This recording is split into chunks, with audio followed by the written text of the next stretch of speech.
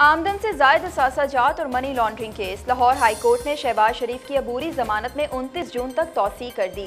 नैब के हाथों गिरफ्तारी से बचने के लिए अपोजिशन लीडर ने अदालत से रजू किया था।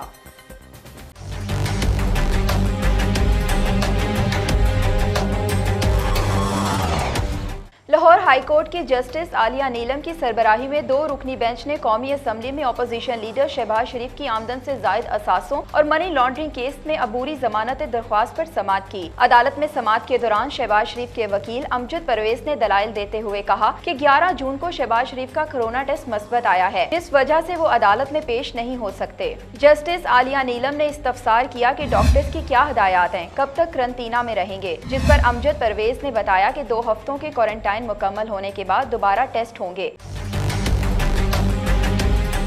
अमजद परवेज ने अदालत को बताया कि शहबाज शरीफ ने जमानती मचलकों पर दस्तखत के लिए हाई कोर्ट आना था। ताहम कोरोना की वजह से नहीं आ सके। अगर अदालती नुमाइंदा घर जाकर दस्तखत करा ले तो ये भी मुमकिन है, जिस पर जस्टिस आलिया नीलम ने कहा कि अदालती एहलकार की ज़िंदगी खतरे में नहीं डाल सकते। लाहौर हाई कोर्ट ने शहबाज शरीफ की अबूरी जमानत में उनतीस जून तक तोसी कर दी और हदायत की है की शहबाज शरीफ जमानती मचलकों पर भी उनतीस जून को ही दस्तखत करेंगे।